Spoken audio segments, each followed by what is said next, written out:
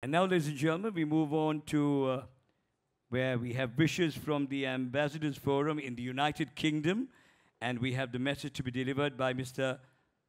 Suchithra Vithanage, the Director Legal Affairs of the Ambassadors Forum UK. Can we have you, please? The chief guest, His Lordship Sobhita Rajakaruna, Most Venerable Tiniyavala Palita Thera of the Nalamba Naladarama Temple, Member of the Parliament, Honorable Mr. Tissa Attanayake, distinguished guests, ladies and gentlemen, colleagues, and friends.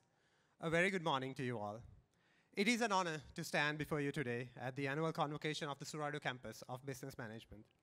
Today, we gather here to celebrate not just the culmination of your academic journey, but the beginning of a noble and selfless career as a professional caregiver. As a representative of the Ambassadors Forum of the United Kingdom, I would like to briefly speak to you on behalf of the forum, and especially President's Counsel, Mr. Sarath Wijesinghe, the former ambassador to the UAE and Israel, and the president of the Ambassadors Forum, who was unfortunately unable to be present here today due to uh, unavoidable circumstances, but nevertheless wishes to convey his best wishes to all of you. Dear graduates, the path that you have chosen is one of compassion, dedication, and immense responsibility. You are the unsung heroes who will provide comfort, care, and companionship to those in need. Your role, my friends, is one that is not just a job. It is a calling that demands a heart full of empathy and hands which are willing to heal. As you embark on this journey, remember that your work will touch the lives of many in many profound ways. You will be the light in someone's darkest hour, their strength when they feel weak, and their hope when they are in despair.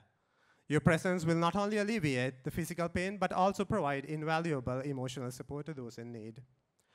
The world we live in needs more people like you, especially in these challenging times when humanity is grappling with a surge of unprecedented health crises.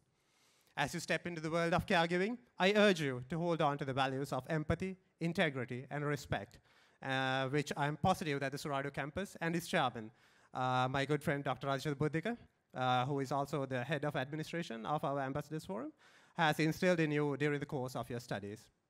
Treat, uh, treat each individual under your care with the dignity that they deserve.